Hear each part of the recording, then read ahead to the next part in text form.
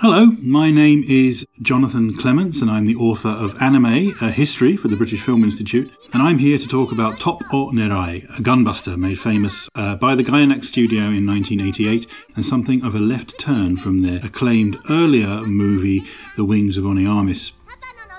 The writer and producer Toshio Okada, in his memoirs, writes about the experience of announcing Gunbuster at a press conference in which the journalists all look shocked and then disappointed, and eventually they start to sidle away because they were hoping for something serious, and instead they're getting pitched this thing about schoolgirls piloting giant robots.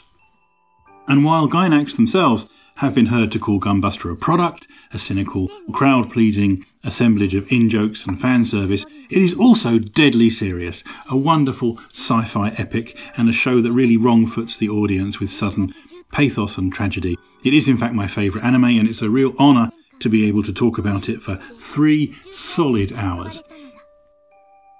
And if you can read Japanese, you may have already noticed that as the camera tracks down across this newspaper article, the inset photographs of the dead crew members have some familiar faces, including Hideaki Anno, the director, and Yoshiyuki Sadamoto, the animator.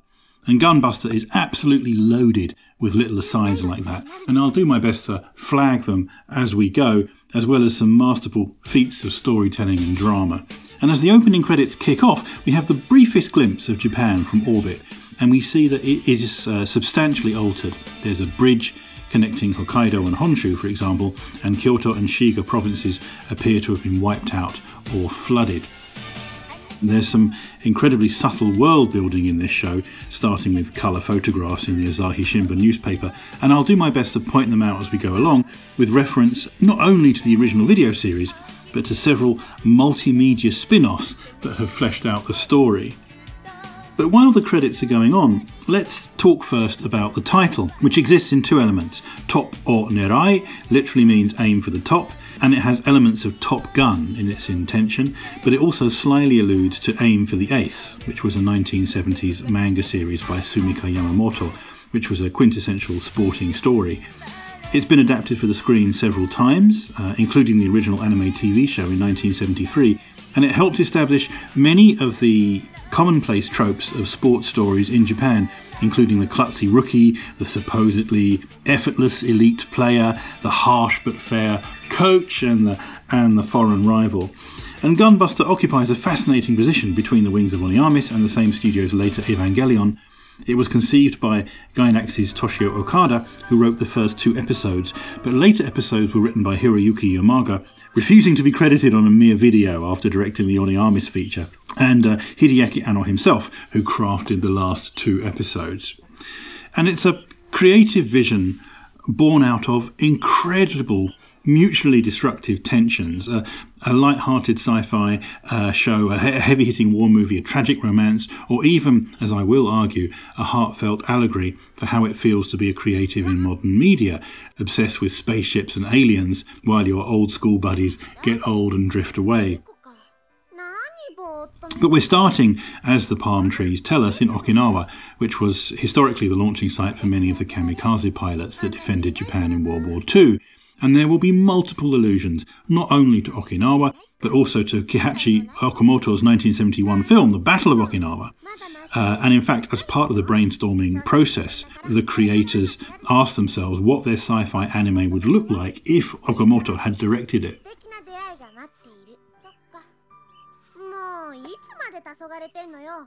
And we should start ticking off the characters before we run low on time. So let's begin with Noriko Takaya, our leading lady. Like most of the female characters in Gunbuster, she's named after one of the women who actually work at Gainax. In this case, Noriko Takaya, the wife of animator Shinji Higuchi, who at the time worked in cell processing uh, and continued to do so, often for Studio Ghibli. She's played by another Noriko, Noriko Hidaka, a voice actress who at the time was riding high on the success of her role in the popular series Touch but also as Satsuki in My Neighbor Totoro. And Hidaka has a is a voice acting superstar who would go on to play uh, Jean in Gainax's Nadia: The Secret of Blue Water. Although her role in Gunbuster was not a big deal in her career, I can only guess at this because she recently published her voice acting memoirs, and Gunbuster barely gets a mention.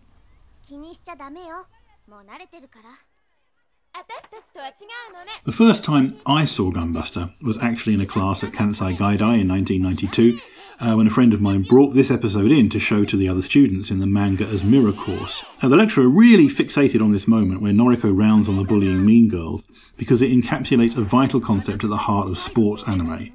Uh, Noriko is being accused of being special, but she insists that she works hard. She insists that she's got where she is, not through any nepotism or pity appointments, but because she's a hard-working, dedicated person.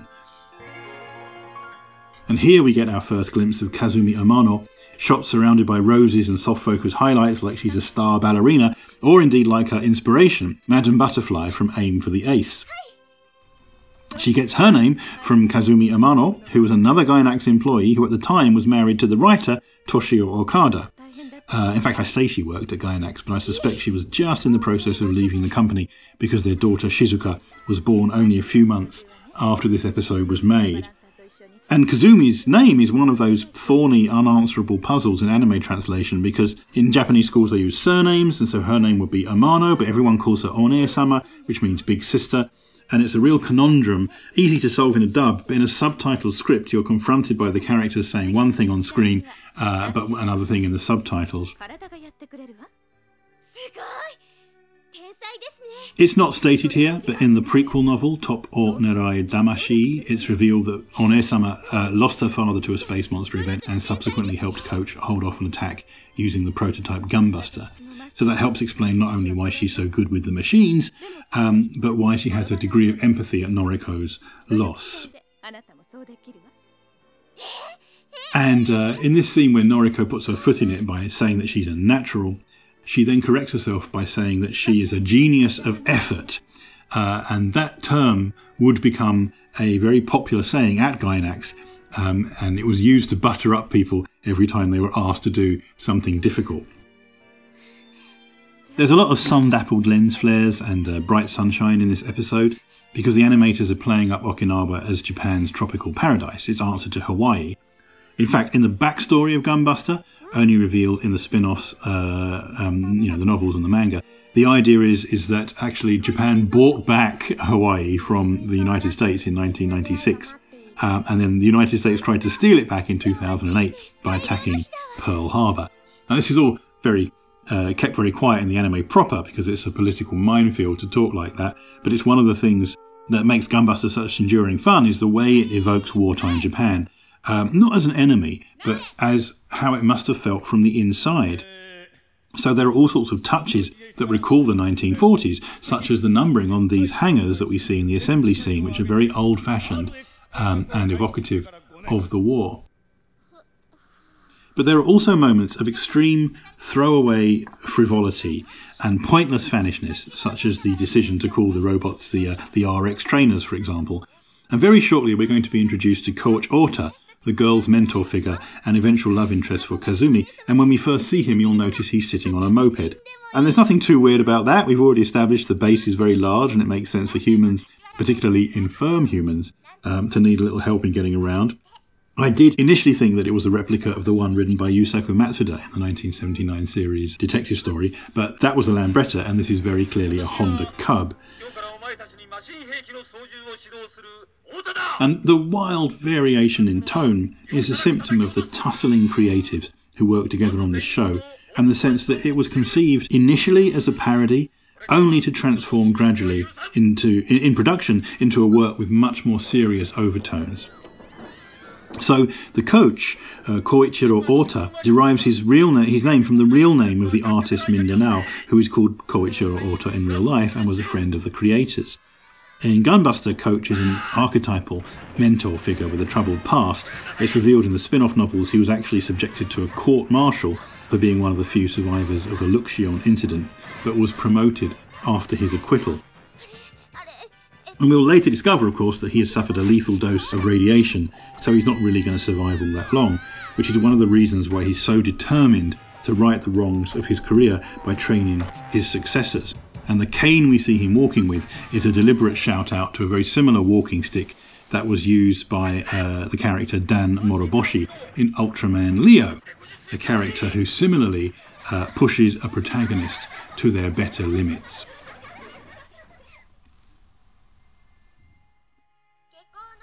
coach is played by the actor uh, Norio Wakamoto, who has an absolutely fantastic voice.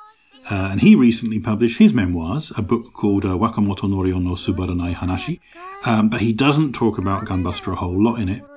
Um, despite giving such a memorable performance here, it doesn't seem to have uh, formed that much of a huge component of his career.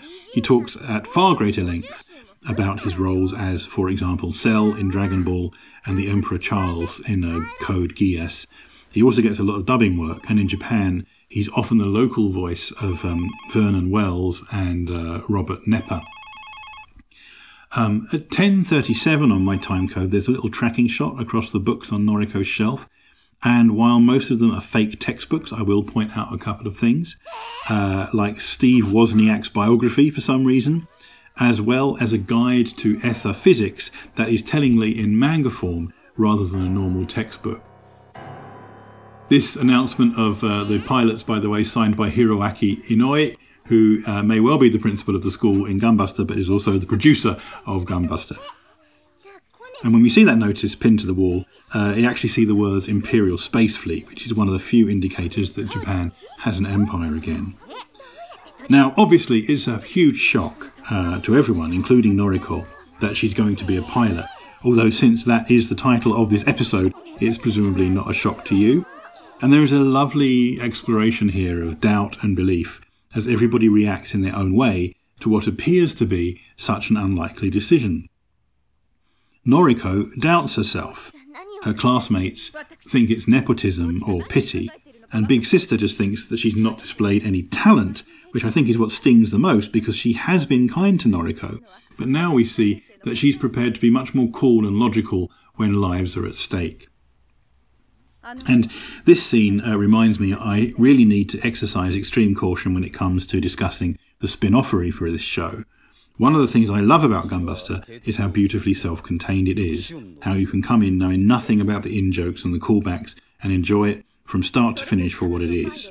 But this scene, in which Coach reveals that he is a survivor of the Luxion incident, would seem to contradict the later prequel, in which he and Big Sister fight together against aliens. So they should already have a past by the time this scene happens. In fact, he supposedly met her when she was nine years old, and he, he knew her father and her mother. Um, in fact, it's her mother that plays Go with him uh, in in the prequel. So, you know, this is um, something that um, they really ought to know already. Then again, the pair of them do have an intimacy here, an ease with each other that suggests they do have some kind of previous contact. Um, in fact, they already have a sort of spousal level of engagement.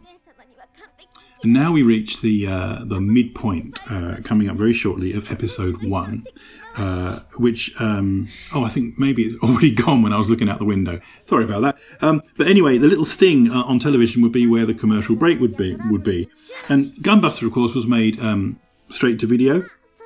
There was a discussion of how it might play out as a television series, and indeed the PlayStation spin-off game was formatted as a 25 episode series in which the six episodes of the uh, video original were integrated with 19 other chapters.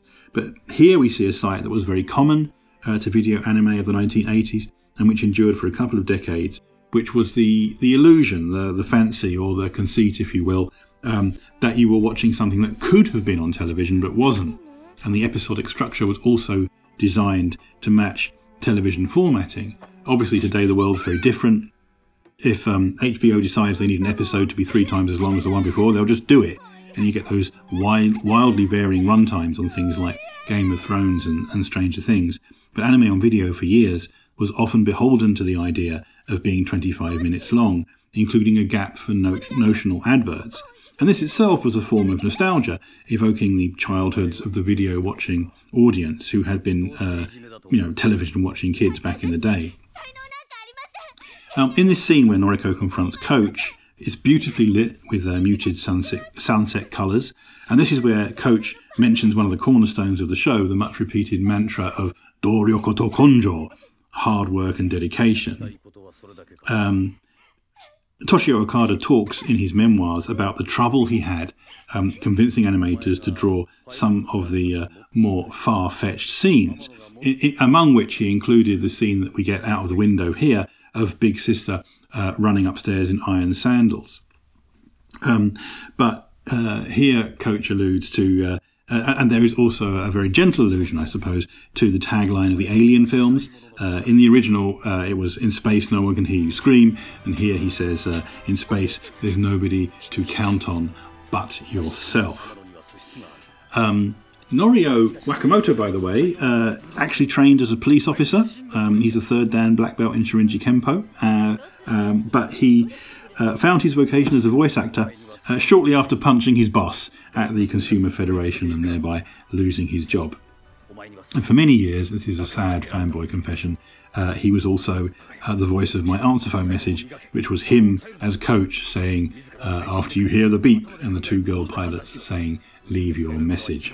That was one of the many uh, little bits of new material that was included on the Gunbuster Sound Collection, which was a digital repository um, not only of all the music from the series, but a bunch of sound effects and dialogue.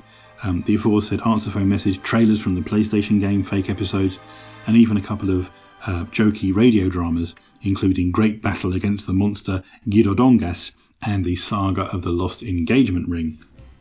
But anyway, this is the 1980s, so you should be not in the least bit surprised that we get a training montage uh, which starts out reasonably enough with Noriko waking up at 4am and getting to work and getting in shape and being a better pilot.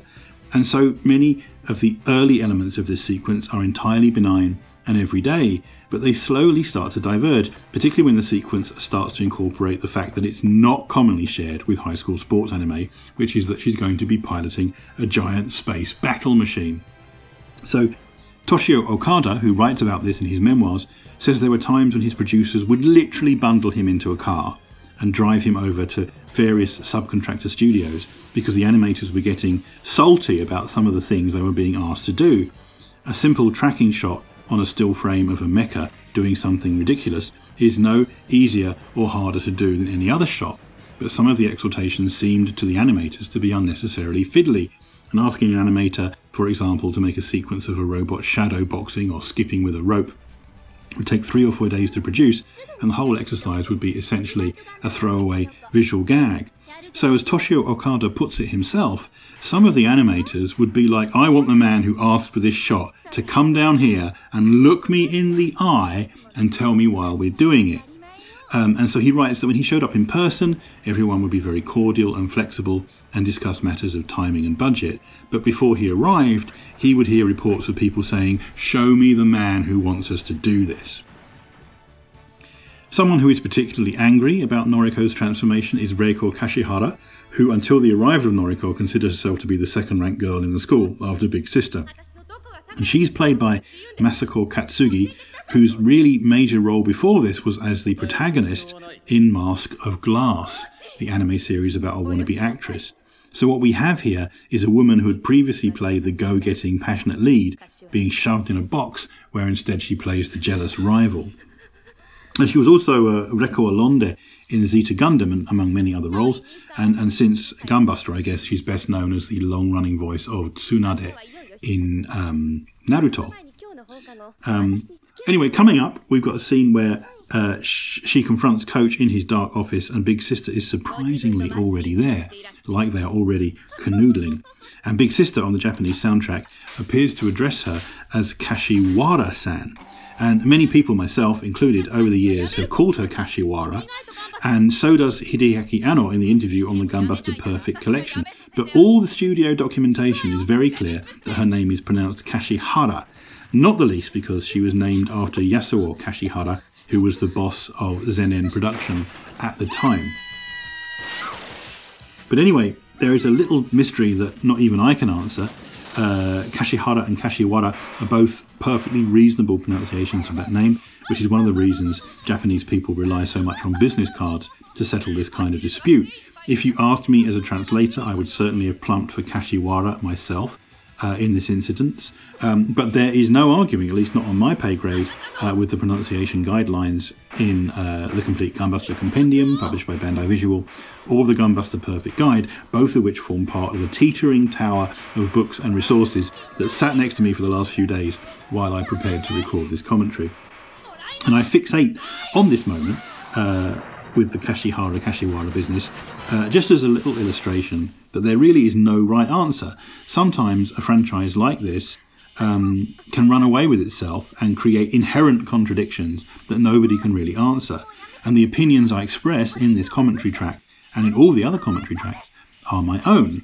They are grounded in my research and my experience, as would anyone else's be, but I cannot guarantee 100% accuracy when studio sources themselves and creator testimonies can and do contradict each other. And this is not an uncommon situation in the media world. Uh, Hideaki Anno himself, in the interview on the Gunbuster Perfect Guide, said that he regarded Gunbuster as a creative collaboration between four major players himself, uh, Toshio Okada as the initiator and author of the first two scripts, Hiroyuki Yamaga as the man who took those scripts and took them in a much more serious direction for episodes 3 and 4, and Shinji Higuchi, who storyboarded so much of it. In fact, I think it was uh, uh, Toshio Okada who went so far as to say that while Anno was the director of Gunbuster, Shinji Higuchi was its star, and so many of the iconic on screen images, as well as so many of the throwaway gags, were all the creation of Shinji Higuchi, who went on to become a movie director. So you've got four people already with their hands on the tiller, and it becomes much harder to approach this in an auteurist sense as the creation of one sole individual who can tell me how to pronounce someone's name. And that's before we get to the contributions made by other members of the team. The robots designed by Koichi Ohata, the characters designed by Haruhiko Mikimoto, uh, formerly of Macross fame, uh, although actually he, he only did the, the, the initial designs. Um, the, the mechanical design by Kazutaka Miyatake, the music by, by Kohei Tanaka, which forms so much of Gunbuster's legacy, and the performances uh, by um, so many uh, talented uh, voice actors. Um, anyway, uh, while I've been talking, uh, Kashihara is defeated and graciously admits as much, which puts her on a character arc uh, that will have new payoffs in later episodes. Uh, unlike many bullies, she's prepared to, prepared to uh, reform her opinions when they are found to be wanting, if you don't mind trial by combat, I suppose. And so Noriko and big sister Kazumi are off to join the top squadron, and as they clamber aboard their JAL uh, space shuttle, uh, Japan Airlines, we see them dressed in red jackets deliberately designed to recall those worn by the Japanese athletes at the 1964 Tokyo Olympics. That itself is a design that had to struggle for success. Um, designed by Yasuyuki Mochizuki and submitted as Japanese team blazer in both 1956 and 1960, but rejected by the Olympic Committee until they suddenly relented in 64. And as they take off, you'll see the words Anor and Gainax on the advertising billboards behind the shuttle, just another little bit of creator in jokery uh, before this first episode is done. As the shuttle takes off, we have something of a moment of artistic license where, despite originating in the far south of Japan and presumably heading for an equatorial orbital injection, which is to say even further south, it somehow manages to swing by Mount Fuji, uh, which is actually several hundred miles north of the launch site. But then again, uh, Mount Fuji is an incredibly evocative image of traditional Japan, both now and during the wartime era, to which Gunbuster will increasingly allude. In fact, there was a film made during the war about the geology of Mount Fuji, which included animated sections explaining the tectonics that led to it being formed. And I know about this because that film uh, was a rare case of animation being banned during the war because it dared to suggest that Mount Fuji was not constant and unchanging, a symbol of Japan's monolithic power, but an organic, ever changing phenomenon, uh, and that somehow annoyed uh, the military authorities at the time. But I digress. That's your lot for episode one, and trust me, it gets better and better as this series goes along. I'll be leaving you now with just a quick comment that the handwritten titles in this closing credit sequence were the work of the real world Kimiko Higuchi, after whom the character of Noriko's horoscope obsessed school friend was named. Uh, Higuchi would go on to contribute some stories to the Gunbuster manga, as well as a spin off called Inappropriate Trivia, spilling some of the behind the scenes stories about the show that I'm relating to you right now, and will continue to do so in episode 2.